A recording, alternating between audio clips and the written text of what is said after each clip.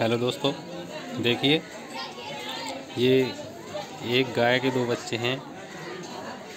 ये इनकी माँ है, गाय। इसने इन दोनों को एक साथ जन्म दिया है। एक इनमें बछिया है और एक बछड़ा है। दोनों देखिए काले काले हैं, सिर्फ़ पैरों पे थोड़ा कलर सफ़ेद है। ये तो पूरा ही काला है। ये बछड़ा है, जो काला वाला है और ये भूरी, जो भूरी है, वो बछिया है। जो पैर पूरे हैं, वो बचिया है। इसकी माँ है, जेर लटकी हुई है थोड़ी, थोड़े समय में लगता है डाल देगी। ये दोनों बच्चे इसी ने जन्मे हैं एक साथ। थैंक यू दोस्तों।